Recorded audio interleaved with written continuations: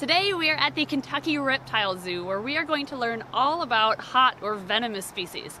I will fully admit that we don't do a lot of work with uh, hot species in captivity. The closest thing we have would be our false water cobras which are mildly venomous so they're like warm species, but they're definitely not venomous to the point where they can cause any permanent damage. So since we are going to be learning a lot today, we figured we'd bring the cameras along so that you can learn with us. Before we start today's video though, we'd like to thank today's sponsor, Blackview. They produce rugged smartphones for outdoor activities, and they sent us the 9600 Pro for us to try out and we were truly impressed with this phone. This thing has a 6.2 inch AMOLED display, it's waterproof, it's dustproof, uh, it has a 16 megapixel camera that can film in 1080p. It has nearly double the battery capacity as the Google Pixel 3, the iPhone 10R, and the Samsung Galaxy S9. Basically, this phone is just as good a phone as the higher end competitors like Apple's, Samsung's, and uh, Google phones, but at about half the price. Our original plan was to take this phone on a herping trip and find some snakes and other reptiles to film,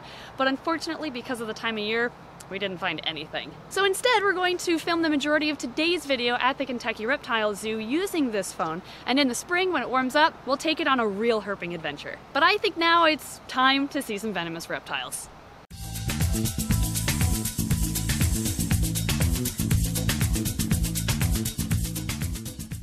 So Jim founded the zoo in 1990. The purpose of it and the reason that he decided to, to do it was basically the old way of extracting venom was you would collect the snakes from the wild, you would extract from them, maybe you would force feed them some, and they wouldn't live very long. They would live maybe six months to a year, and then you would just go out and get more snakes because there's an unlimited right. supply in the wild, right? Yep. Yeah. And so he felt like that really was wrong, that there was a better way that it could be done, and he wanted to prove that you could eh, provide venom but also have healthy animals that lived a long time in captivity. So that's mm-hmm. kind of his vision. But we also feel like if the animal is in captivity, it should be being used in as many ways as it can be. So that's one of the reasons we're open to the public is we try to have at least one of everything on exhibit. So not only can you extract venom, but you can also educate at the same time since you have the animals exactly. already. Right. That's right. fantastic. Um, and that's also why we try to make them available for non-invasive research too. So we've had uh, people here who were studying like how snakes strike or venom expenditure. Uh, we provide samples for DNA, that wow. sort of thing. And that's kind of the same idea is that the snakes are here, they should be getting used because they're not in the wild doing what they're supposed to be doing. So right. we want to, you know, as long as we're not injuring them, we want to make sure that they're useful in as many ways as we can. So right now, I think we're probably between I don't know, 16, 1700 individuals. Oh my gosh. probably around 100 species. Um, most of what we have is venomous. We do have 30 or 40, maybe 40 or so colubrids that we use for educational programs. So, those are the ones that you bring to schools too. and you bring mm-hmm. to scouts. Okay. Yeah, but most of what we have is venomous stuff. do you uh, acquire most of your snakes then from your own breeding? Yes, probably the majority of the snakes that are here were born here. We do have some snakes that are were captured in the wild. Like some of our western diamondbacks come to us mm-hmm. because they were nuisance animals. Oh, so okay. they weren't able to be relocated to a good place. Do you do you, do you call it extracting or milking? Well, we try to call it extracting. Okay. Milking, go, guys. Call it extracting, not milking. milking is not wrong, but extraction is the more technical or more proper term. Right. So right. we try to say extraction. Um, it's not like you're milking the. Right. It's yeah. not a cow. Yeah, exactly. The snake is perfectly it's happy if you don't extract from it. so it depends on the snake how frequently they're extracted from. So some snakes you can extract from once every two weeks. Some snakes are more easily stressed out or more affected by the stress, and we give those a longer period of time. So mm-hmm. sometimes three weeks, sometimes four weeks. We base that on yield. So if the snake is healthy and doing well on whatever schedule it's on, it will maintain that yield of venom. What's average?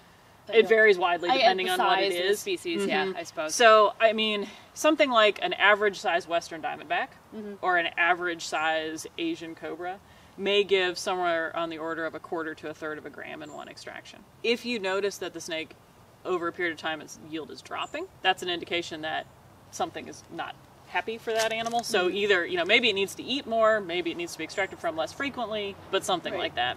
Okay just, you have to kind of, I usually kind of put a finger in. The snakes that are extracted from on a very regular basis, so ones we have a standing order for, there's a reason for us to be extracting as frequently as we can. They also eat a lot more than you would feed your pet snakes or snakes that you have for produce it, whatever. Yeah. yeah. Part of that is stress, and part of it is they're making the venom. Mm-hmm.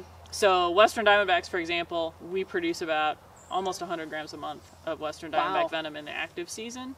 They're extracted from every two weeks, and they eat every week.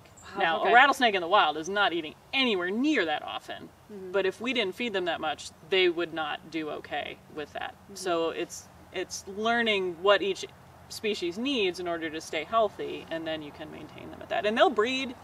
And I mean, we've had babies born from those guys like while he's still extracting from them, and they're they're fine. Oh, But you do like have to make sure they're healthy before you get going. The vast majority of the clients that we have are people who are doing research with the venom. So they're studying, you know, cancer, they're studying heart disease or oh. you know blood clotting problems or things like that. It's probably like two fifths of our customers are here in the U.S. and the rest are overseas somewhere. Oh, you do So- a lot of uh, exporting. Yeah, yeah. There's quite a few like international things. Again, you know, the venom research community is only so big, so Yeah. you know, not everybody is in this country. So that's the majority of the the clients that we have. Now we do also sometimes provide for anti venom, and then we also uh, provide for the dog vaccine that's available um, in the western part of the country. There's a vaccine So- that uses venom. There is, and it's the idea is that it makes the dog last longer to get to a vet. It's not necessarily going to make Oh, the dog like completely immune if it's bitten by the snake, but if you're out hiking or it's a hunting dog or something like that and it's far away, it gives you some time. Wow. the idea to get to the vet. I've never heard of that So it's not, before. it's not available in this part of the country Okay. because it, it's made from Western Diamondback, so it's just a Ah. western part of the country. How does venom become antivenom? So the process of making antivenom is actually pretty simple. So you take the venom, you inject it into some animal. Is it usually sheep from what I was researching? Crofab, which is the antivenom that's until this fall was the only antivenom approved for use in the U.S., but now there's a competitor.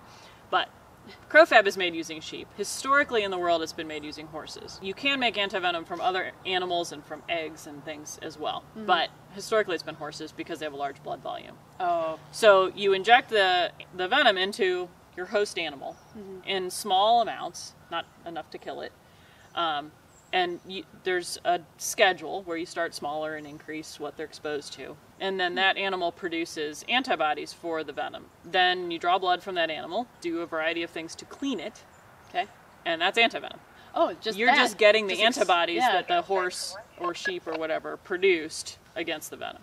Wow, I didn't know that was So, it. I that's pretty much- more involved. There's there are there are a few varieties on the theme. You can do a mix of venoms and inject that, or you can have like horse A is inoculated with this species, horse B is inoculated with that species. So there's a couple Okay. different ways.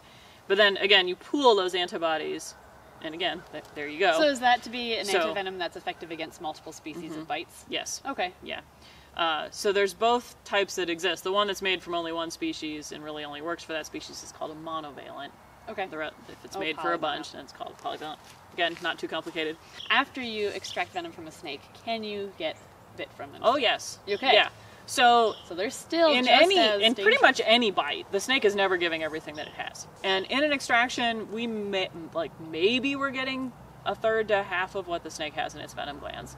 Okay. And uh, bec- because we're not forcing the venom out, and I know sometimes people see the video and it looks like Jim squeezing their head, but I think he was telling you like he can actually feel the muscles around the glands contracting and moving. Mm-hmm. And so what he'll do is when it looks like he's squishing the snake's head, all he's doing is following the snake's own contraction of the muscles. So he's moving with them.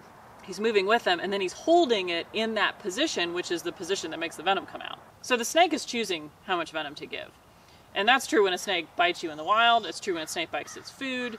They are deciding how much venom to inject based on, you know, a variety of factors. Probably the size of what they're biting, how freaked out they are if they're biting in self-defense. When we extract, we're only getting a portion of the venom. So if they bite after that, they absolutely can inject venom. And he's had actually two bites after being after the snake was extracted from that were still plenty serious. Wow. So, so yeah, it doesn't have, it doesn't limit their ability. Right.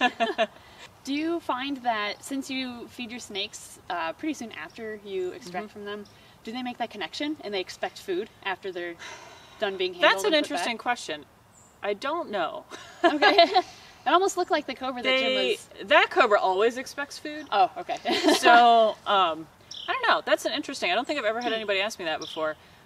I think that it's more that when we feed them frequently, they expect food every time we come by. I see. Yeah. And so they're very conditioned that there is going to be food there on a very regular basis. Mm-hmm. And so when you come and open the cage, they're like, oh, hey. so it's not they've made the connection between the extraction process and food. They've just connected you with food. I think so. Okay, yeah, that makes yeah. sense. I think that's I think that's more what I would say.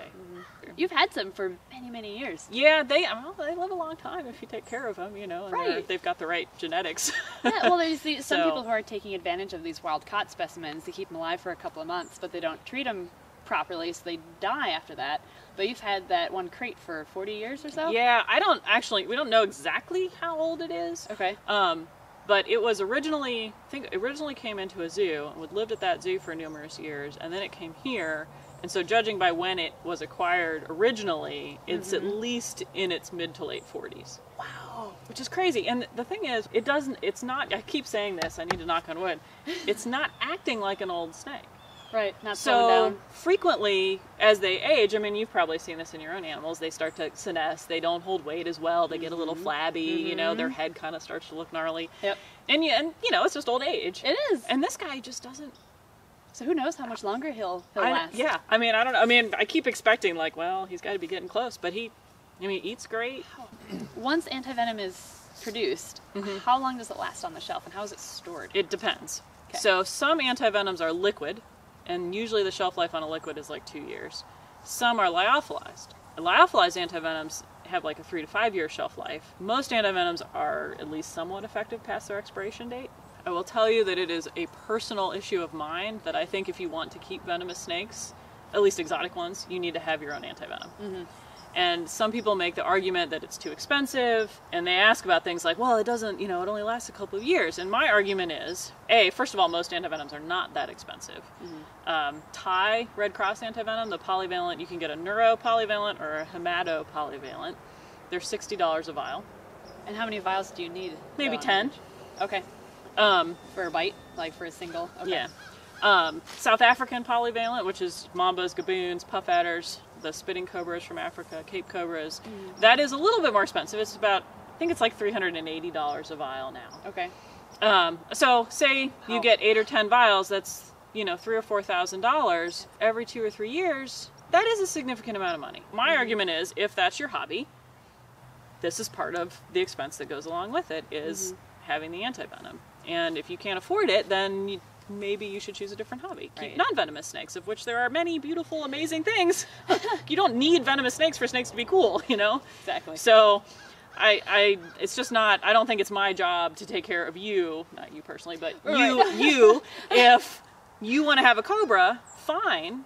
As long as it's legal where you live, I don't care if you have a cobra. I'm not better than anybody else, and I can take care of it, and you can't. But it's not my job to take care of you if you get bit.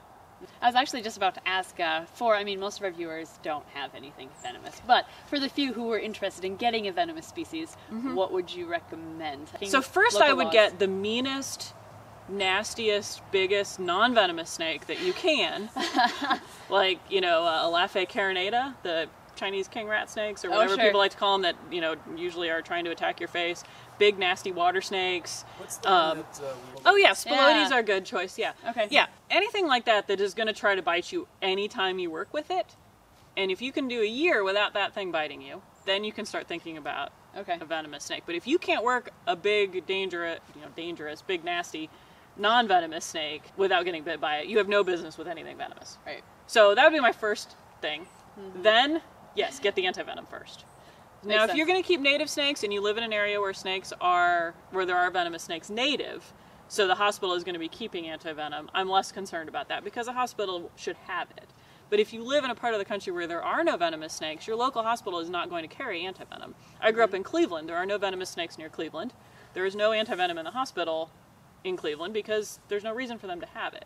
I don't not commenting on the legalities in any of these places, Right, but right, if you right. live where the snakes are native and you're going to keep native venomous snakes, I think the antivenom is much less of an issue. But if you want to have exotics, you, you've got to have the antivenom. And I'll I'll say it for you guys. I've said it to other places too. If you want venomous snakes and you want to know how to get your antivenom, if you email me, I will send you a PDF. It tells you how to get it. No, it's not something I would suggest people do. No, But I know that some people do it no matter what you say. right, right. So that's the best way to go about it. Yeah. But for most of the people watching this, if you want a venomous species, don't just don't get a venomous species. What are the reasons that it would be justifiable to have a venomous species of snake? Well, that's a good question. a For a, for a private individual, the people that I feel like do a good job, that I know personally, are people who have a true appreciation for the animal.